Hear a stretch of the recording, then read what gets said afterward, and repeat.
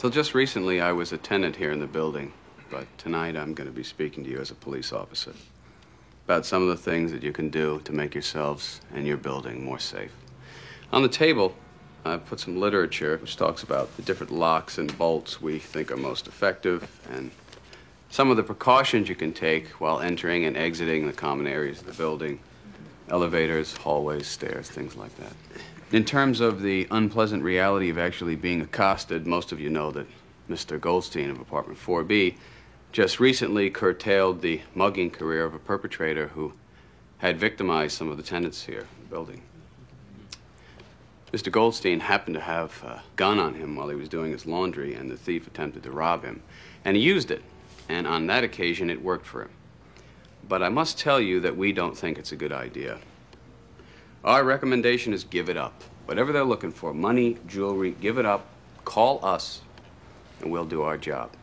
Now, having said that, having given you those warnings, I want to say don't live afraid, don't hide, don't be angry, and don't, don't go out look for vengeance on those people who break the law.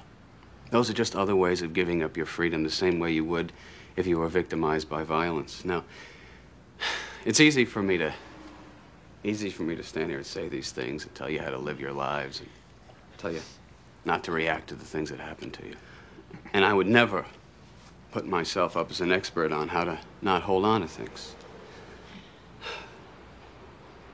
My uh, my dad was shot down on the street, so I uh, I tend to tend to be a little bit more careful. Maybe uh, a little bit overprotective.